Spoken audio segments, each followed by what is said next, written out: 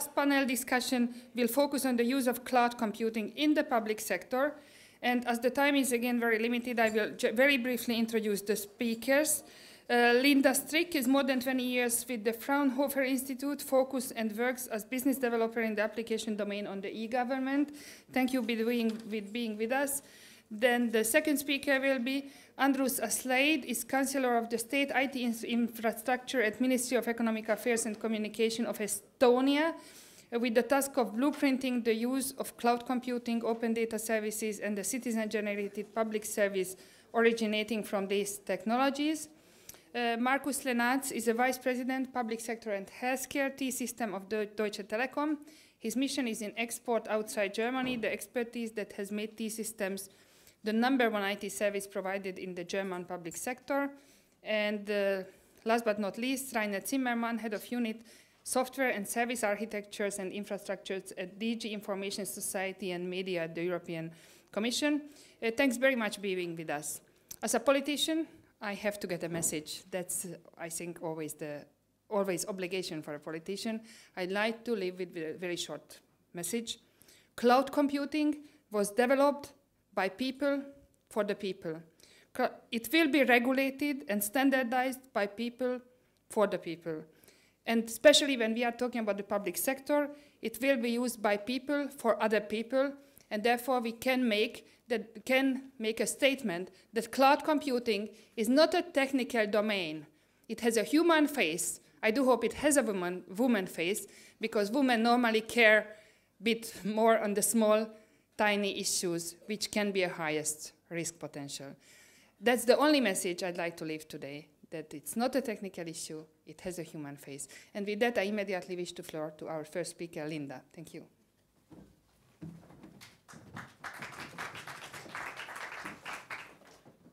Uh, yeah, thank you very for that very nice uh, in introduction. Uh, and I agree, it uh, cloud is not a technical thing. Um, it's nice to have it uh, human and a woman face, but uh, I think it's a concept um, in general. And um, there's a lot of technology available which can be used to make sure that cloud happens. I try to push the button. No, it's the end. okay, sorry. So we have heard a lot, and I cannot tell you anything new because cloud computing for the public sector, the biggest reason for not going to cloud computing in the public sector is data protection. That's one thing because uh, it's a question of control what they have to do. It's a question of legal constraints. So what, what is it the public sector is going for at the moment? So we have done a study in um, 2010 on cloud computing for the public sector. The one thing is, and that's what we didn't hear today beforehand, just use a private cloud. So the public sector will use cloud. It's not the question if they go cloud, they already went cloud but they went for private cloud. But what's the problem with private clouds? So just in the example of Germany, they have, we have these more bigger data centers, not the small ones. So if you collect all these big data centers and everyone will become a cloud, so we have more than 400 clouds. Does it help? No. Does it consolidate? No. Are they really cloud? No. They're not really cloud. So that, but that's a first step. So they have the idea and think we have to go to something. Well, what is cloud also? Cloud is a model for cooperation. If you don't cooperate, you cannot go for cloud. So that's one thing what I think is very important. So that is the next step, which we would call maybe community cloud, call it what you want, but it's you have a cooperation between different cloud providers where you can exchange and share a basic infrastructure, for example. You can share services. You have in these community cloud the main or the same obligations for security, for privacy, and things like that. So that is something what you could do today. Technically, it's no problem. Technically, federated security, federated access control, It's all done. Maybe research based, they're not in real uh, systems running, but there are European projects running uh, on exactly those kinds of things in the e-government area. There are a few huge ones like Storks, PEPPOL, which exactly address those things. So technically, it's maybe not that feasible now, but it's not a problem.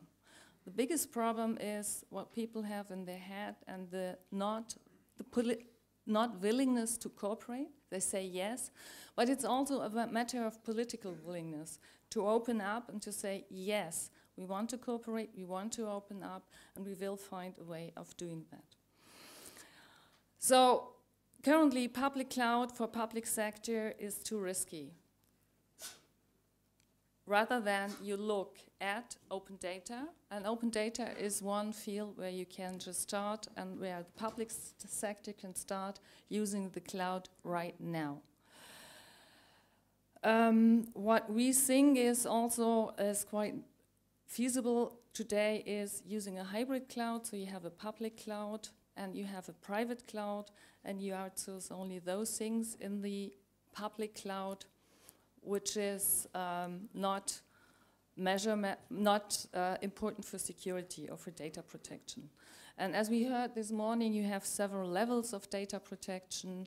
Uh, not everything is or has to stay uh, in the security environment. Things are with different levels. The other thing, uh, just mentioning and looking what we have talked or what we have heard today, um, I as well as others, I welcome very much the, the new uh, data protection.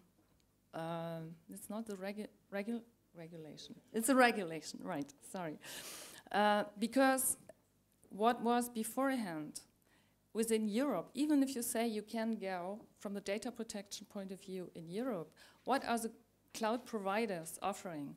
So you have different data protection laws in Europe. We have a study on that. If you're interested, you can look at our website. But that's the other ri risk. So the providers, how can they provide the right environment for Europe? With, it, with this new regulation, it helps much more. And this goes also in the direction of what I think means interoperability. So we talk about technical interoperability. Um, semantic interoperability, but what we have to talk about is also about legal and political interoperability. So legal make standard laws or make standards in that form that are, they are feasible and easy to understand within Europe. You're sitting here, so I think I can say that. This thing is difficult for me. Yes it's not much more what I have. Just, um, just, I'm, I'm I, I'll take it like that because I, okay, no. Yes. So the second thing is we have already talked a lot of about standardization and interoperability. So what we see is if you go in cloud, and that's the other thing where um, also the public sector says we don't want to go because we don't know if, we, if we are stuck within one cloud, we cannot go to another cloud. Um, we think there are standards available. I learned four weeks ago that nearly every standard is available at the Cloudscape event. Um, so what you need is to know which standards are available and for what reason and in which context you put them. So what we try to do and input into the ISO standards is a method or a methodology, methodology for describing use cases and usage scenarios in text, form, it and then also put in the constraints, the legal constraints. And then you identify from those steps further down which one are the relevant standards and is there a need for more standards or do we already have enough standards with those? So the way of using use cases and usage scenarios helps much better to identify standards and would also help governments to be more um, secure on interoperability because that's also one of those reasons what they uh, claim at the moment. I have, this is just a picture of showing what it is. And in general, um, coming back to the mass data in the cloud and what you have is not only is YouTube, is Twitter, whatever. So you have an immense mass of data in the cloud if you make it open or not, but if you move it, uh, and that's something what I heard beforehand was very important. If you move it, make sure big data to move, you need the internet and you need the capacity to do so. Um, and so I'm not sure if the lock-in argument is a real argument. Um, and with that, I want to close. Thank you.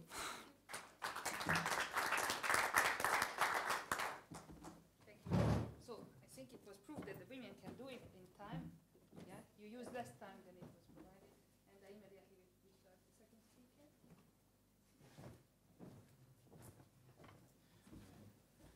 Yes. Uh, my job description is actually saying that I'm dealing with making Estonian government working on a cloud. So a little bit inside information how it's going with six pilots concurrently running and and if I get my slides then I will also show some pictures about um, about what we have done and what the problems might be. But uh, but basically if still no slides. Can I get this one minute back? uh, uh, well, that uh, if we look at the current situation, then cloud is pretty much everywhere. And, and, and everybody has a little bit different description of what the cloud is and how to approach and how should government approach to the cloud. Uh, I had recently a very nice um, business meeting with a one of the major IT companies, which name I don't name here because they are in, in the audience as well, but, but I got sold uh, extensively a product named Cloud in a Box. So yes, that's, that is apparently that's, that's uh, such product in existence. Well, anyway. Uh, thank you. Uh, I borrowed this one from the Gartner, and this pretty much puts us in a picture why is that the cloud is now everywhere? Because um, if you look at this, this is actually a study called Government Hype Cycle 2011, and and if you look at then, cloud is just crawling at this very very very high peak when it's only can free fall for the next couple of years and then get to the maturity phase hopefully. So uh, a little bit before that, already on the downfall phase is the open data, which is also pretty much everybody talking about. And I agree with the previous speaker that the truth is that uh, probably the key element at the moment of getting government successfully working on a cloud environment is to combine these two. So basically, uh, as there are so many issues still up with a and, an unanswered with how the cloud should be actually uh, approached by the government from the data security perspective, data integrity perspective, and, and, and, and how to connect different institutions successfully on the platform, it is quite clear that it will stall for the next couple of years to come if we don't start from something which is already there. And then open data is a good starting point by definition because it is open data. So the, uh, it doesn't mean that there are no security issues though, because um, uh, because even with open, open data, you still have to manage data integrity. But, uh, but, but that's still a little bit easier to do than, than, than wrestling just from the beginning with all concerns right away. Um, in parallel with that, what we see happening is actually a new public service approach. And um, recent events um, now almost a year ago what, what, what had huge political shifts taken on in Arabic world and then some places else as well actually showed that there are certain world orders which are not probably tolerated anymore. But the truth is that in a democratic societies there is a little bit problem with uh, between the public service and the citizens as well, because pretty much everywhere in the world, the citizens have been alienating from the, or government alienating from the citizens, or vice versa. Take it as you wish. And something has to be changed there, because the governance has been going further and further out from the citizens' hands. It's practically that you can elect somebody every once in a while, and this is pretty much pretty much what you can do. Uh, it is also true that most of the sort of direct democracy approaches, would they be web-based or, or, or, some other form, uh, most of such direct um, direct democracy attempts have been not that successful either. So so far in past five, six, seven years, every attempt to engage citizens more actively in, in getting their the, getting their word out and then getting the getting the countries more and more coherent with their citizens have not been that that well maintained or have not been that successful. So if you look at how to solve this, then the open data is probably one of the key elements there because um, it is in some way of giving a country back to the people. It is about publishing what we have about the country. It is about publishing what public service is doing. It is about giving this neural network of the, of the government out, hoping that something will come back. And, and uh, in idea, it is very beautiful uh, that, that we will publish the data, and then all the school children, all the school children are starting to build services based on that, and all the local governments are starting to build their own services without asking a single penny of money from the government, and everybody is very happy with that except and, and, and then there is a very nice study what also says that somewhere there is a 40 billion euros in for the for the um, uh, private enterprises in all that. Uh, well, the truth is that we have seen open data published now almost regularly through different sites on the European Union and, and on the on the worldwide scale as well, but we don't see this uh, rush of services, mostly because what can be monetized has been monetized already uh, in past 10 or 20 years, talking about statistics, talking about uh, weather data, talking about um, uh, some, some other aspects of open data, which is already there and very successfully put in work as a business. But we don't see that much new services happening from the data, except the obvious that if you put the bus stations coordinates as a public data, you will end up with Google mesh up with bus stations on the map. So that's, that's, that's happening everywhere. And this is where the cloud probably kicks in. I press button, does it click in? Yes. Uh, and, uh, and, and, and one key element of the cloud is that if you look at the current approach for, by the public data and, and open data, then it is always treated as it should be some sort of huge archive which is published and then somebody should sort of take this one terabyte worth of data and host it somewhere and then be very happy to build services on top of it.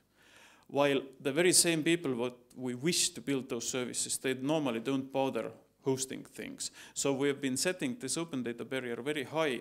And this is really the moment where cloud can solve the problem because at this point where governments start hosting the data in the cloud and give the open data out as readily data as a service so that everybody who can have an, any idea about what to do with the data can start right away from building an application rather than uh, rather than start with uh, with first finding yourself a some sort of service provider which can host this terabyte for you and then start building service after that is is is something which is probably going to be a key key aspect of it.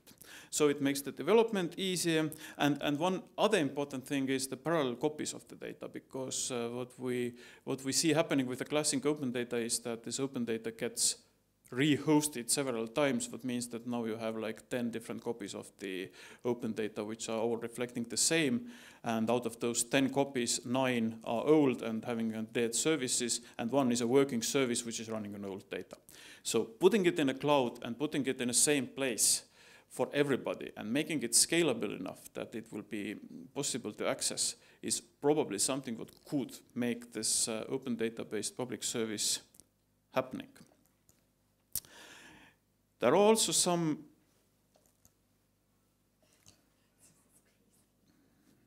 stay.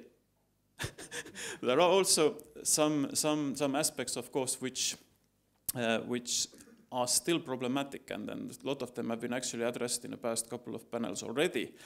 Uh, but um, but but the, one of the very important one is that at the moment nobody knows how to make a successful procurement for the cloud from the government side. First of all, there is no good definition. The second, there is a little bit problem that if you look at the if you look at the technology lock-ins, then it is obvious that you can't sell out somebody. You can't do the thing that I will take everything from the Amazon and everybody else uh, could, lay low for the next 10 years to come. But the question is how you standardize this middle layer in there is going to be a key issue, and, and this is actually why we're piloting it, and this is what we what we're trying to solve. So just some aspects of, of the problems, but I think that if you combine this with open data and, and we eventually see cloud services to happen. Thank you very much, and I'd like to ask Markus Lennartz, and I'd just like to mention that I was voting full day in the Budget Control Committee, so I'm happy that they are not aware of this procurement issue yet. So thank you very much. It's a pleasure to be here tonight uh, to talk to you about cloud services in the public sector. So uh, industry is coming up with a new product, cloud services. We're in the middle of a financial crisis. Industry comes with a new product, which is, of course, uh, more expensive than the ones before. Is this the right point in time to offer new services? Yes, it is, because because, because cloud services uh, meet very much uh, the needs the public sector has, and this is what I would like to talk about in the next few minutes. So next slide, please. Um, could you please put all the, all the things uh, in? Uh, okay. Um, so what is it all about? Um, what does the cloud service deliver to us? It ensures the optimum use of fixed IT budgets. And we see, of course, shrinking IT budgets also in the public sector. If I take the example of Spain, the IT budget from 2011 to 2012 has been reduced by 20%, for instance. And we will see the same in other countries, of course.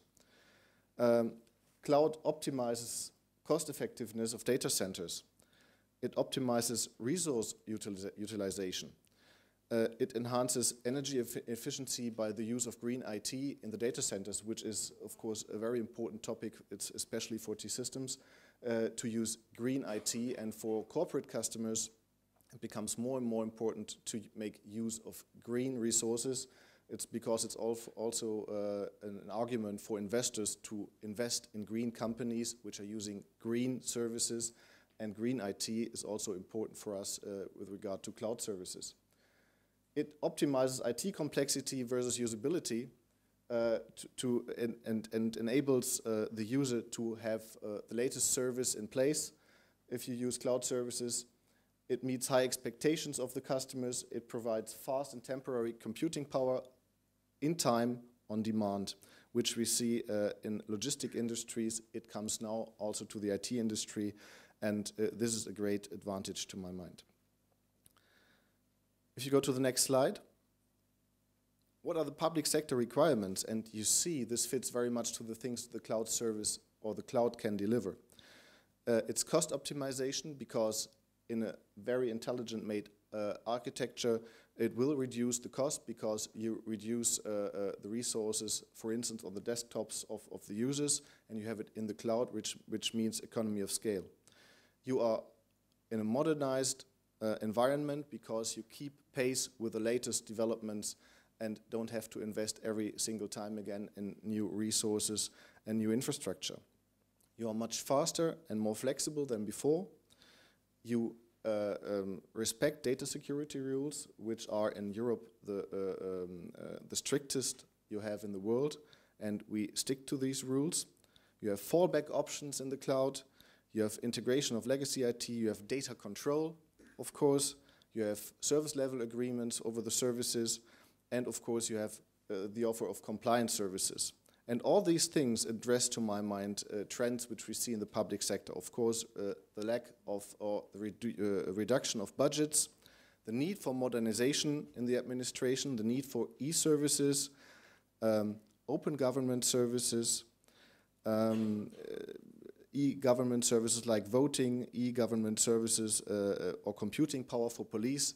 And you see if you discuss with, with police uh, authorities a lack of computing power in following the breach of law, um, because uh, uh, uh, the people who do this have power behind and usually quite some economic power. And if you see the police forces, for instance, they don't have enough uh, um, computing power to follow the activities of, of these uh, people. So, um, uh, and for instance, and one other, other example is, for instance, telematic solutions.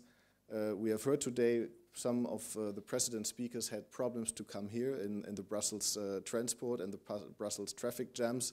Um, if we come to smarter cities, therefore cloud services uh, uh offer the opportunity to get smarter cities via the cloud, uh, the offers the cloud uh, can give to, to everybody via telematic solutions and solutions in healthcare and administration in smarter cities uh, which is also supported by uh, the European uh, Commission in the smartest, smart city activities we are seeing here.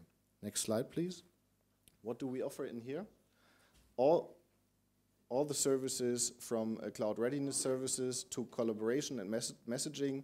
And what is of high importance to my mind is uh, we deliver a service here which is made in Europe, based on European standards, especially data security standards um, and data privacy standards, uh, for which we are, of course, advertising uh, that we need a European standard here, uh, which is of high importance because we have the highest standard in the world and uh, it's of high importance for our customers and also for the public sector, where we see, of course, private clouds, but we could see, to my mind, uh, less private clouds. Why couldn't use the city of Cologne and the city of Brussels one private cloud together. I don't see that, that this is impossible. But uh, um, at the moment, we see, of course, many private clouds, uh, a private cloud for the city of Cologne, a private cloud for the city of Brussels, a private cloud for every single city. And there's a huge uh, opportunity to reduce cost and to, to reduce resources uh, in a safe and, um, let's say, administration dedicated environment. So, and I would like to conclude, all these things are made for the public sector. To a certain extent, the private sector is the first mover, but the things the cloud offers or could offer to the administrative sector sector fits very much the needs we see here in the in the in the public sector. And uh, we would like to bring administration to the next level of development which means uh, also administration e-based and in the cloud. Thank you very much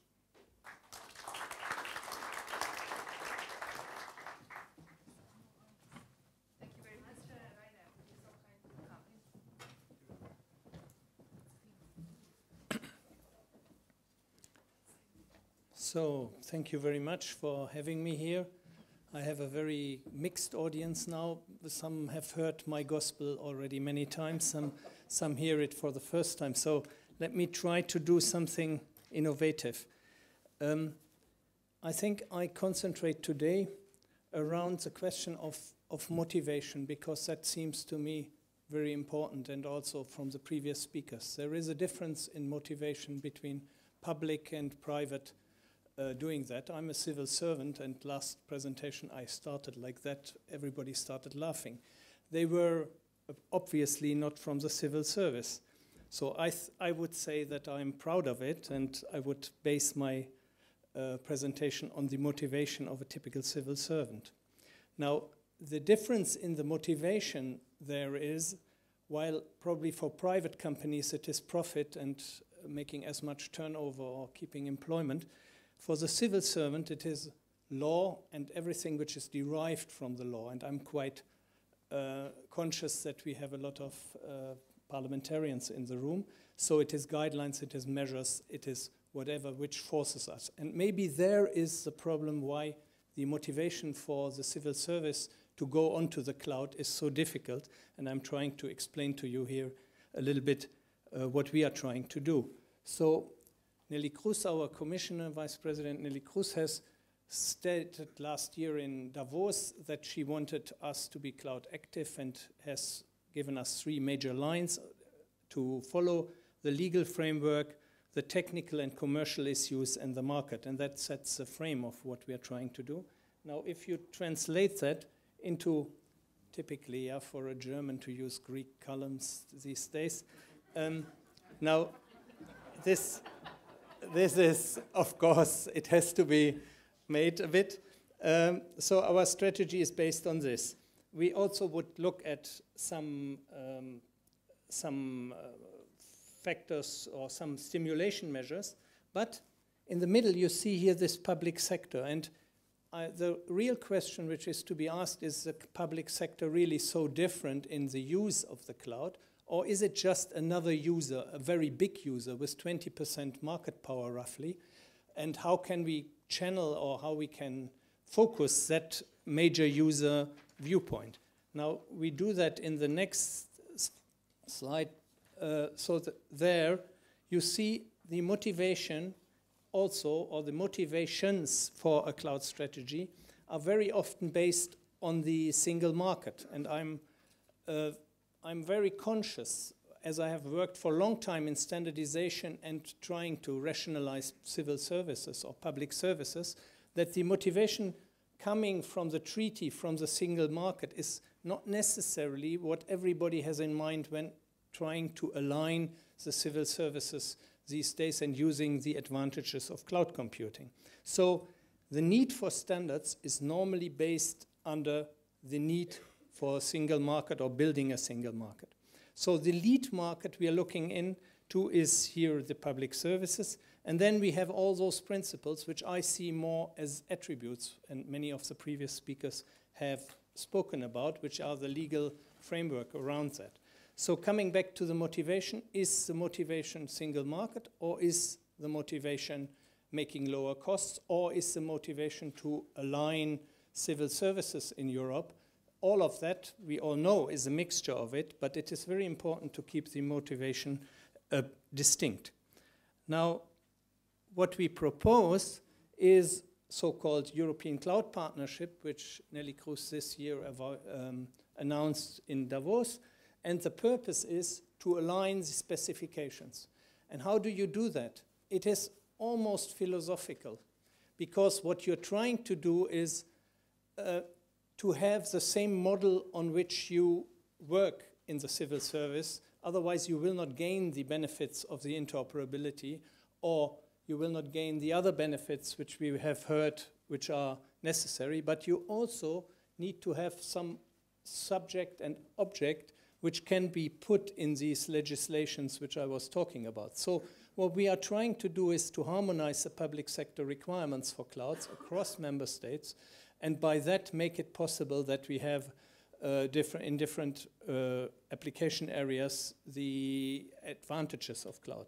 Now there are some listed so that you have them. I jump there.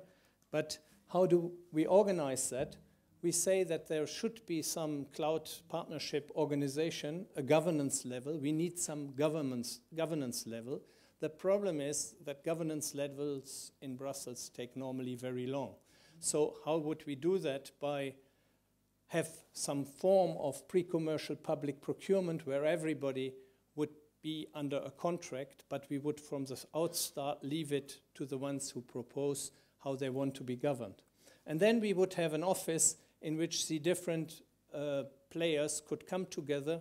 And my idea there is mainly that this could be also some competing consortia, because at the moment the overall cloud topic, as we have seen in the previous speakers, is far too big. So there are some subheadings which have to be addressed and some substandards and some sub-requirements which we need in the public service. And this office may consult with the industrial or the academic, and we hope, of course, also that it will have some spillover effects. And now it becomes very practical in phase, phase one, such a cloud office should harmonize the requirements for cloud computing in the public sector. In phase two, procure proof of concept solutions and procure implementations in order to demonstrate would then be the third phase. Now, to do that in pre-commercial public procurement has the beauty that you can very close work together with the suppliers, which you normally cannot in public procurement for the obvious reasons that everybody has an interest. But here we could probably sit together first, and because cloud buying cloud, it became clear from the previous speakers, is quite complex to have an agreement on what actually the specifications are. Now, I've, I, uh, harm harmonize the requirements. It's clear they agree the public sector, and this also includes the standardization requirements. Um, difficult to go further. Now, that is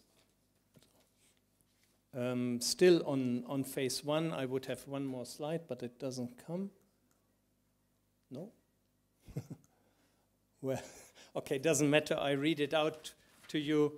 Um, so there would be a timing, of course, to this activity. So we would do the first step this year in 2012.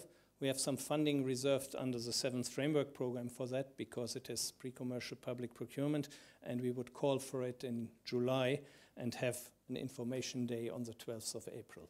Thank you.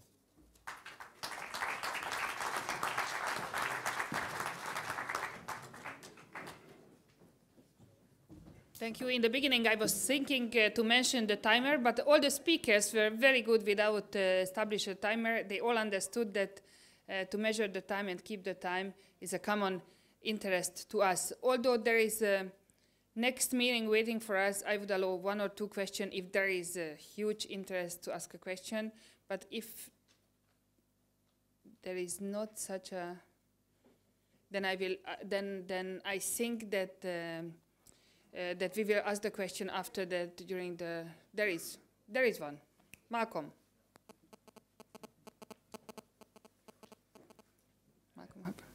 uh, I just wanted to, to pick up on the uh, on Rainer Zimmermann's um, a, a, plan for a, a, a pre-commercial procurement, which I have a particular interest in, as he knows. But uh, more broadly, I wasn't entirely sure exactly what he was going to be procuring and for whom. I mean, is he procuring solutions that will be, generally applicable? Um, is he procuring a, whole system? Um, and uh, it would be interesting to hear from the other panelists who are directly involved with this, you know, what they think will be the added value of what you are doing in relation to what is already happening, as we heard from Estonia, as we heard from T-Systems as well.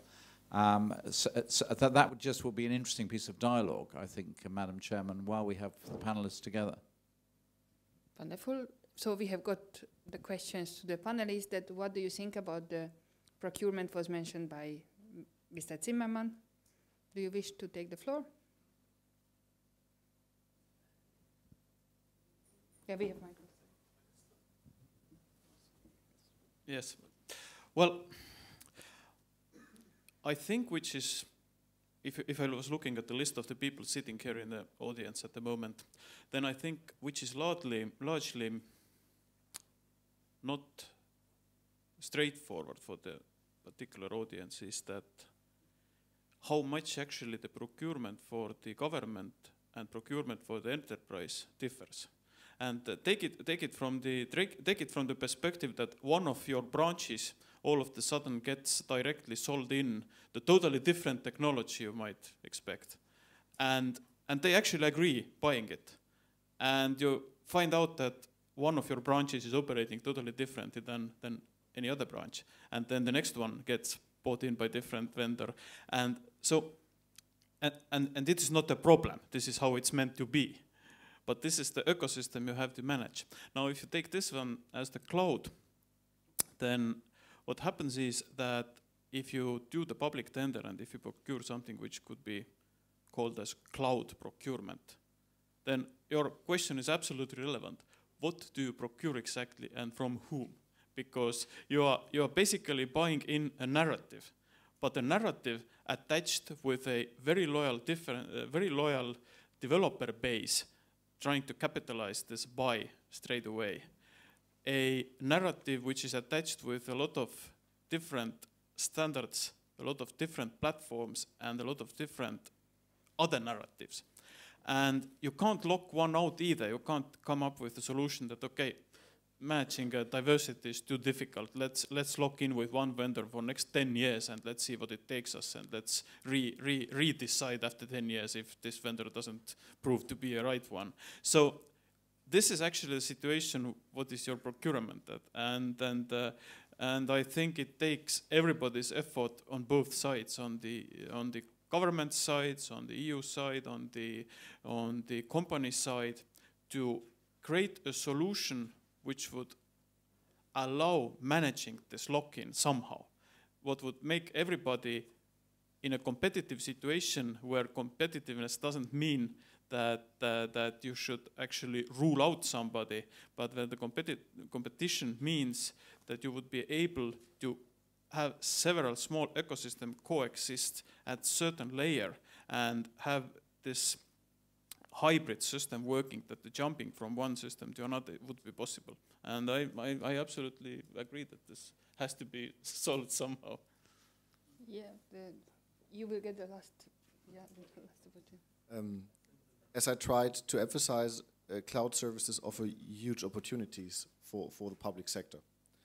Um, we have to make the first step. We have to think about the questions uh, Mr. Zimmermann has mentioned. We have to work it out.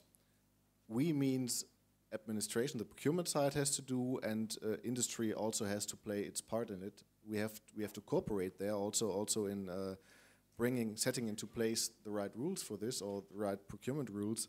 Uh, but we shouldn't wait too long because we have to make the first steps. Otherwise, others have been faster than we have been, and we lag behind. And uh, let's say cloud is also a question of infrastructure, and uh, infrastructure is very important for prosperity uh, in Europe and we have to be fast, to, fast there because we are in a worldwide competition. Uh, that's why I'm advertising for, let's say, a close cooperation between industry and also the procurement side.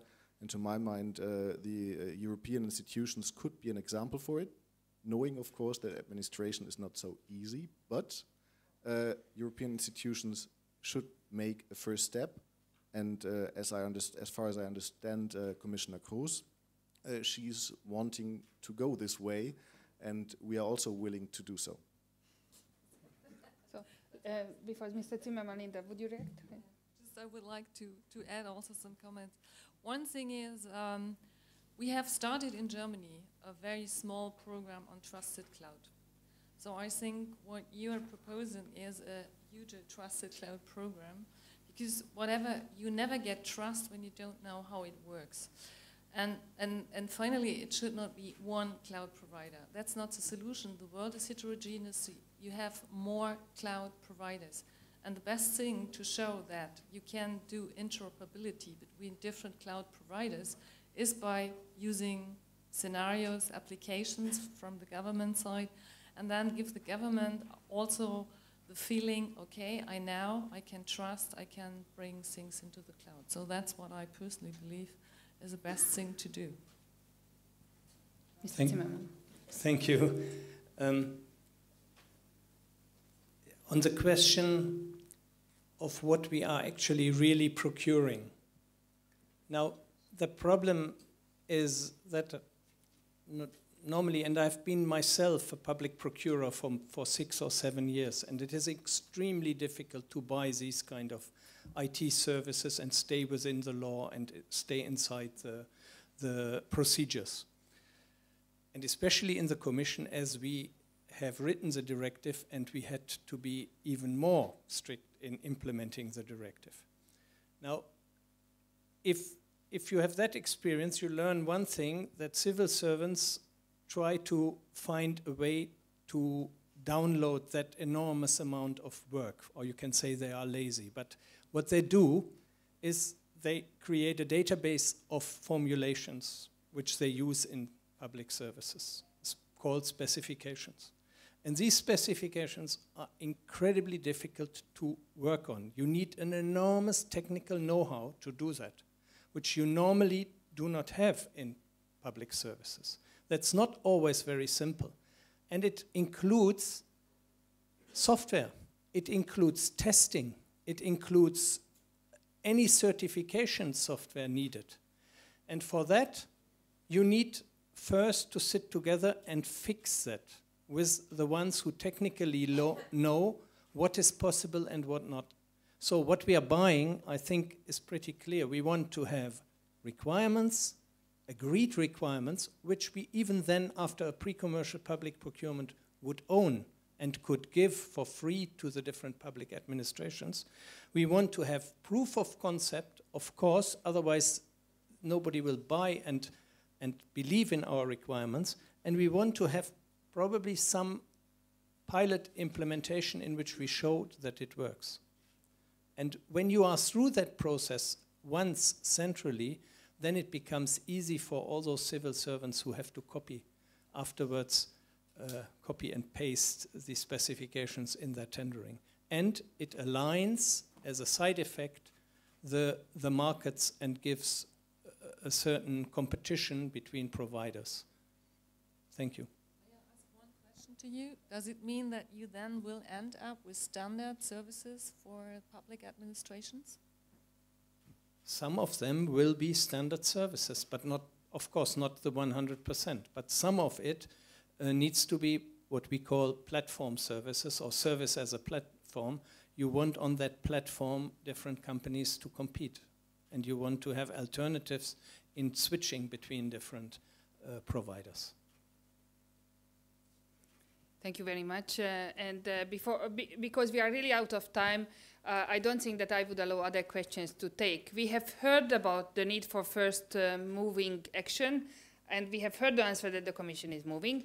We have got a very different opinion that we, we, we would need a sky full with small clouds, or we would need a blue sky with one big cloud. We have seen from the businesses the rainbow, which is probably most liked by the citizens. Uh, and we have to avoid the wonderstorm because this is definitely not what we want to achieve. Uh, and with this, I think uh, we have to finish here. And I think the EIF Foundation has learned that it was a really great uh, subject and probably will continue. Definitely we will continue tomorrow by the greening, uh, greening meaning of the cloud computing if you come for the breakfast. And now it's uh, time to meet the uh, commissioner for the roundtable and then for the Buffett plans. Thanks to being here.